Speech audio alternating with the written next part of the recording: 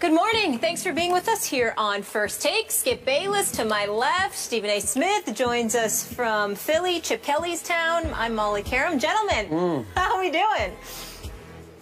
What's up? What's going on, y'all? How you doing? We're good. We miss you already. you seem relaxed and happy. Whoa, don't worry about it. Oh, trust me, I'm here. I'm here in the house. I just got one question Oh. for my man Skip Bayless this morning. And here's the proverbial handshake over the television screen. Skip Bayless, I gotta ask you a question. Did you see that bad man last night? Mm. Whoa! Woo! That's a bad boy. You know, I, I've never done this in the history of the show. I'm going to offer you my condolences on the first topic of this show prematurely because you deserve it prematurely because we all know you're about to get scorched in a debate.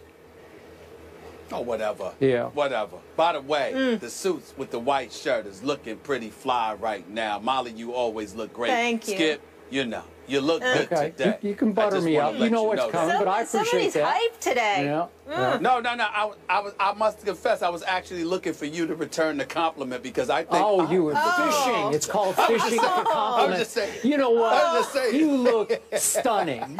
You know, You look fantastic. You look like the Thank you cover of. GQ. Thank That's you what you look like. Did you get Thank the goatee much, Deb. shaped Thank you up? so much. It looks Yeah, you did. fantastic. Did I mention that? He My the only barber shop. regret, my only regret Okay. today is I didn't wear the green suit with the yellow in it. I should have rocked that this morning. Mm. Okay. I really Oh, should. yeah. I get it. Go oh, ahead. Green Go. Bay. I'm just saying. Yeah, okay. This is going to just be a good something one, like that. people. All right, let's Something work. that. We ready, Mr. Happy?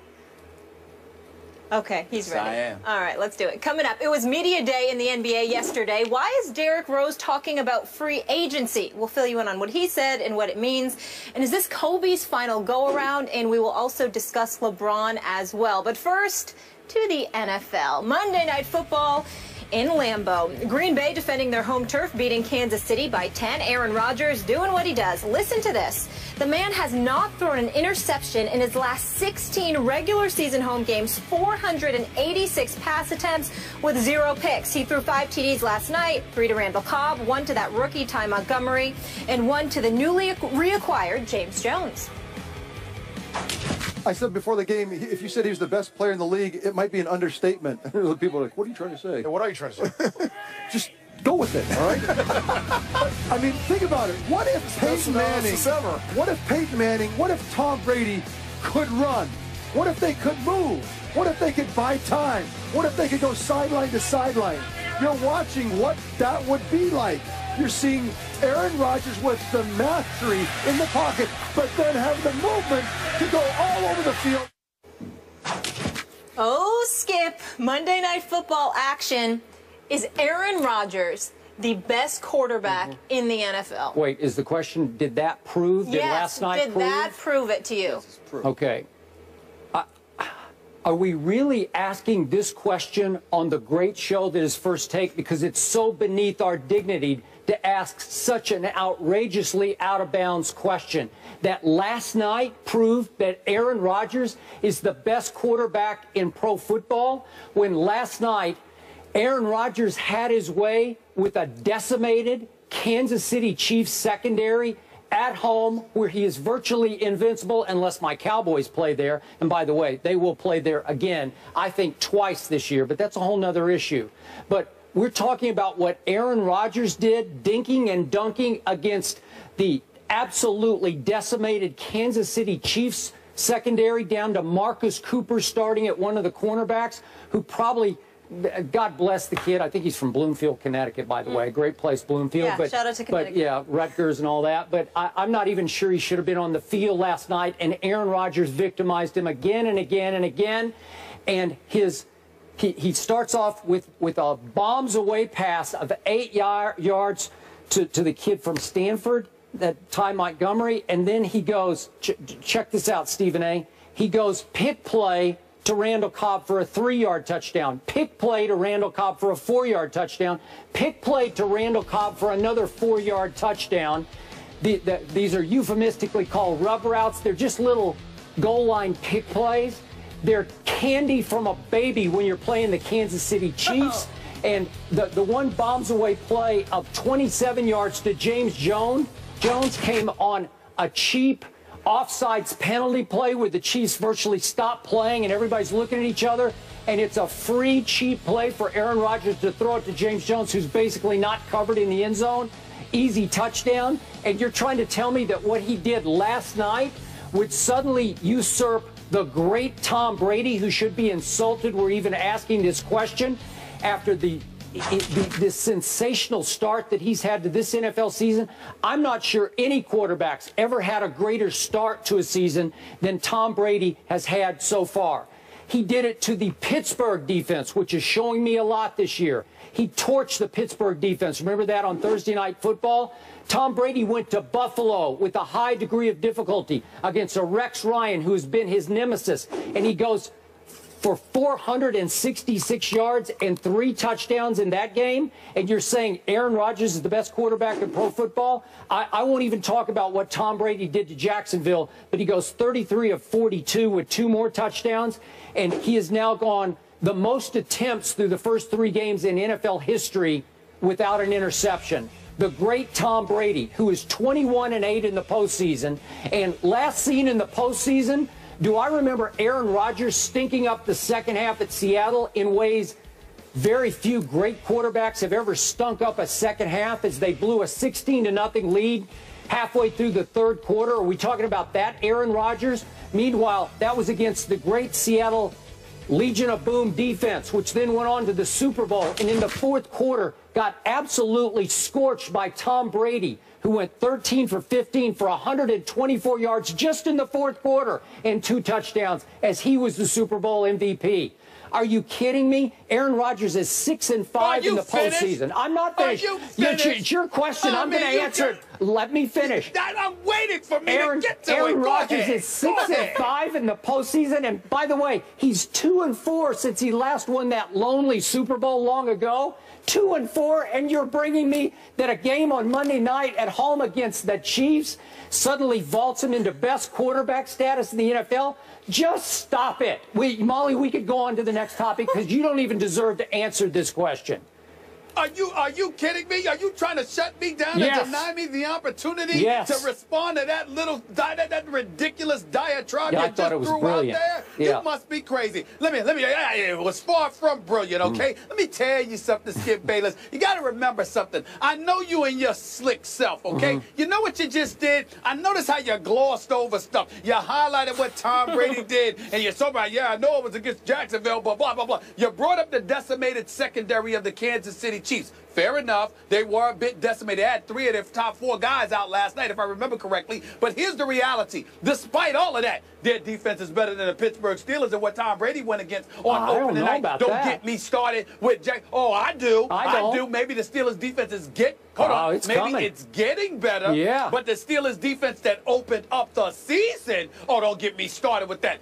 Aaron Rodgers, okay? He went against Chicago's defense, which even you acknowledged is upgraded, especially with John Fox as the head coach right now. And we'll get into them a little no, bit later because obviously they traded two guys. But let me, yeah, yeah, I'm just saying respectable. I'm not saying they're lights out, but respectable. We know their offense and Jay Cutler, your Vanderbilt native. That's the problem with the Chicago Bears. It had nothing to do with their defense, okay? You got Chicago, then you had Seattle, game two, no and Kam. then Kansas City no yesterday. Kam at home, you got no Kam at home. That's fine. That's fine. But Seattle's defense is still nothing to sneeze at without Kam. Kam just elevates it to an extreme, extremely elite level. But they're still better than most even without Kam. And then you got Kansas City yesterday. And then you look at Aaron Rodgers. Excuse me, nearly 500 passes at Green Bay at Lambeau Field, still without an interception. Lord knows how many touchdowns the man has thrown. The man is absolutely phenomenal. Okay. It is phenomenal. Thank you very much for giving me that, okay? So you got a, a Green Bay Packers offense, by the way, making Starks, making Cobb, making, uh, you know, James Joe, everybody look like all pros because he's that dude. And by the way, I have what I consider to be a relatively impenetrable argument, Skip Bayless. And you know what that argument is?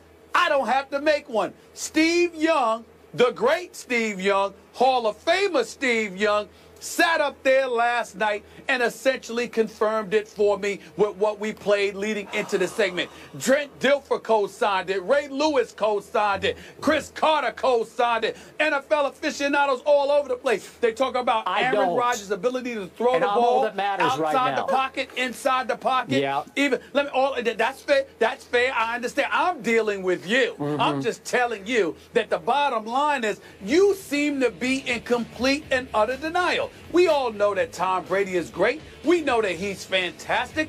But when we talk about Aaron Rodgers, Steve Young could not have said it any better when he said, Imagine Peyton Manning or Tom Brady being able to run, being able to scramble out of the pocket and do what they do, because that is what Aaron Rodgers does. Peyton Manning and Tom Brady are phenomenal because they're guys who stand in the pocket and can fling that football second to none. We get that, and they're champions as well, which is not to be disrespected. But what Aaron Rodgers does, he does anywhere in the field. He does in the pocket. He does standing still. He does it tap dancing. He does it scrambling to his left, to his right. Even the cadences, with, you know, with, with the way he's calling plays, drawing dudes offside. Last night, the Kansas City Chiefs stopped the Packers on third down and forced a fourth down and were penalized all three times, primarily due to Aaron Rodgers. He knows how to scare you to death.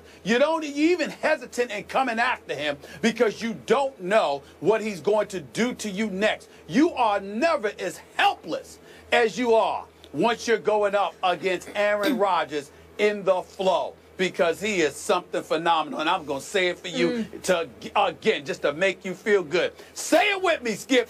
He's a bad man.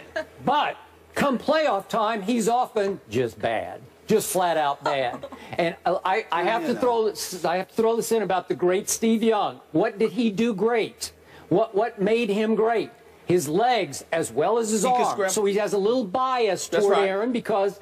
He relates, Oh, you know. come well, on. come on, come, Come on, on. seriously. Come- you know, show- he show- to show say Steve he's, Young he's more doing it the way I did it. He did it the way Oh, oh Steve oh, did it the minute, best. wait. Okay. The, the, hold on, wait a minute. The objectivity, the objectivity of Steve Young is something that he puts Yeah. on display for 17 weeks a season every single year for us. Come on, Skip Bayless. Okay. You can't sit I, I there just and did. bring into I question said it, and I stand by it. Okay. Now you tell me he does it all over the football field, but you you can't come back. You- You have no response to why he doesn't do it consistently when the money's on the line in the playoffs. My Cowboys, my underdog Cowboys, should have won that game because it was a catch. We know it was But a they catch, didn't. and they They should have. didn't. Okay, but they didn't. But then he goes to Seattle, played a nice half. They're up 16 to nothing in the third quarter. Where was Aaron Rodgers when they needed him most? May Nowhere to be found. Boy, he could, could he ask you a scramble? Could he run? Could he get outside? Nope, he didn't do May I ask you a question, Skip Bayless? Bayless, let me ask you a question. How is it that you recall that it should have been a catch because it was a catch? How is it that you recall Seattle's second half performance, but you don't recall that throughout the entire playoffs last year, Aaron Rodgers was playing on one leg? One leg! What? he was a little limpy. One leg! He was getting How do we around ignore okay. that? Well, well, he's got the greatest What? arm in history. That's what, you tell me. The quickest release and the strongest arm. So he should be better I, than I that. stand by that. Okay. I, sta- I, I stand Tom by Brady that. wasn't I running stand around by in the that. But it playoffs, doesn't and look what he did to the Legion of Boom. He You- boomed you- him. He, he you- knocked you him out of still the park. need your legs to throw the By the way, remember, Aaron Rodgers is six and five in the playoffs. Think about this: four of the six came on his Super Bowl roll that one year. And remember, he, he has to go on the road as the wild card team, and he beats Michael Vick in Philadelphia. Nah. He beats Matt Ryan, no Julio Jones yet there. Matt Ryan really struggling as a young quarterback. Yeah, I don't know about that. I then love he how you say this. Jay I Cutler. Wait a second. He beats Your Jay Cutler in is so Chicago. Jay Cutler couldn't go in the second half, and you're the one who said he's overriding his bicycle in the second half. It's Caleb Hanie in the second half, and go look at the numbers. Aaron Rodgers stunk up that second half and almost lost a chance to go to the Super Bowl to Caleb Hanie. Then in the Super Bowl, Troy Polamalu, remember this? He couldn't run. He had a pulled hamstring, shouldn't even tried to play. So Aaron oh. Rodgers Oh. victimized Ryan Clark in the secondary. Okay? I have a response. I have a response. You know what, Skip Bayless? I recall Tom Brady, every time he goes up against an elite defense, because Denver certainly was no elite defense, okay? But every time he's going up, the Colts certainly it was no elite defense. But every time he's going up against an elite defense, a la the Baltimore Ravens in Ray Lewis's last year, he got his butt kicked. When he went to the Giants in He the Super Bowl twice, and they got and they mm-hmm. got after him, Okay. he neutralized them. Yeah, Okay, he's When I 21 look and at 8 Aaron with Rodgers, four we all- rings. we 21 and 8 look- with we- four rings. what- Case closed. I, I, I'm sorry. You got to speak. I don't get to say something. I don't get to. What you're scared? You scared We- we don't like what you you're saying. I mean, why don't you listen? Why don't you listen? Well, just because you don't like it doesn't mean that you get to interrupt me. Zip it when I'm talking to you. Here's the deal. When Aaron Rodgers Yeah. goes up against elite defenses, mm-hmm. and I'm, I'm sorry, Tom Brady goes up. Yeah. against elite Okay. defenses, he has tend to not show up. Now he did win the Super Bowl last Ah, year I'd say. against Seattle, but again, you want to bring up stuff. I saw Kam Chancellor hurt. I saw Richard Sherman hurt. I saw Earl Thomas hurt. But you don't want you want to bypass that. You want to ignore the fact that he got beat ever. up by the Baltimore Ravens when they were healthy and they were elite. You want to ignore and attribute it to luck as to why the New York Giants beat them twice in the Super It Bowl. was. It was when the you sat up play in Super Bowl history. Did Tom Brady? Hold on. Did Right. Tom Brady Stop not it. laugh? Not Right. I laugh just got Stop at the it. thought of him being held to Yeah. just 17 points, and he was held to 14 points. Yeah. But you ignore that. But you want to bring up I everything about Aaron Rodgers, whose defense has always been suspect in Green Bay. He's a bad boy. Somewhere along the lines, you're going to learn to accept this reality. Eventually, I'm gonna Aaron Rodgers is a unzip bad it and Somehow, say some way. Tom Brady. That's As what you I'm going to always say. say. Yes. All right, guys, this is fun, no. but we, What? we, we have to move on. So there is an obvious divide here. Stephen A. thinks that bad man is the best in the league, while of course Skip's not riding with it. What do you think? Let us know on Twitter if you think Rodgers is the best quarterback in the NFL by replying yes or no to the hashtag best NFL passer. Speaking of Tom Brady and the Patriots.